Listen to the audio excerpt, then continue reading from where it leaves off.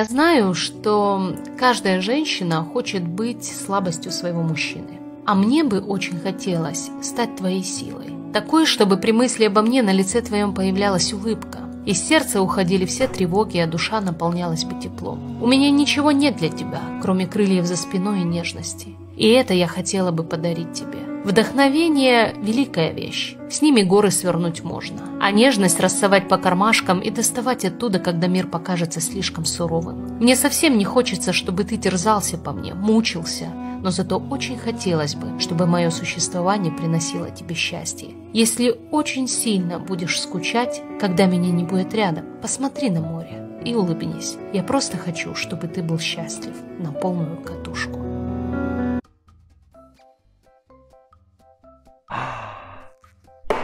Через 10 лет.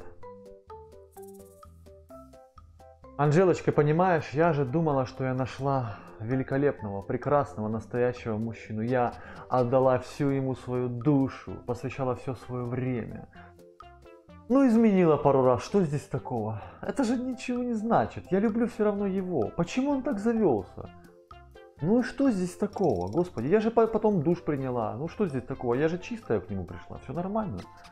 Почему он устроил мне такую сцену? Почему он устроил мне такой скандал?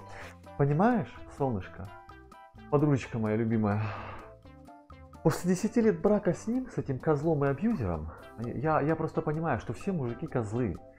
Понимаешь, что, ну как он мог так со мной поступить? Как? Я же растворилась в нем. А мозги не в счет, он не считается.